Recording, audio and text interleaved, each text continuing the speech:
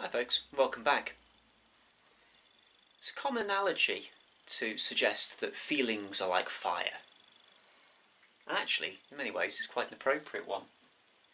Fires take time to build, with a bit of patience, and they also take a long time to burn out.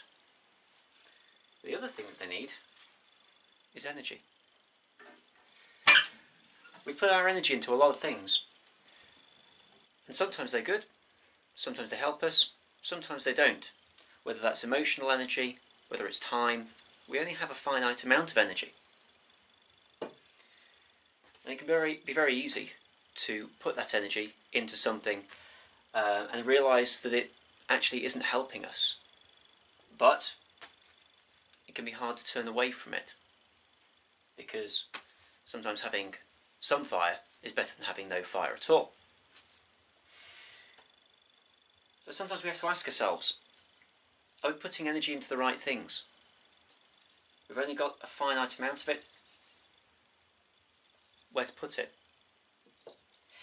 It can take time and it can take patience to start a new fire if there's one that's already going.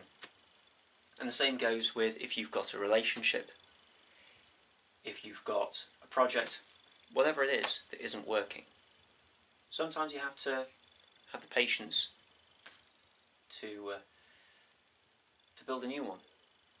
Now that old fire is going to keep burning, and in the same way, there are going to be uh, things that are going to keep on taking your attention. But if you divert your energies into the new and the productive, you'll start to see the results. Now, of course, in reality, other people can come along and put their energies into it as well.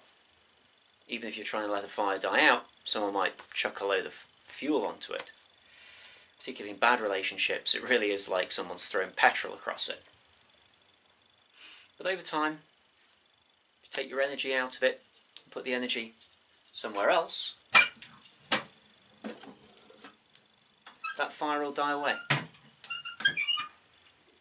And a new one will take hold. Could take a long time, could take weeks, could take months, could take years. But it's up to you.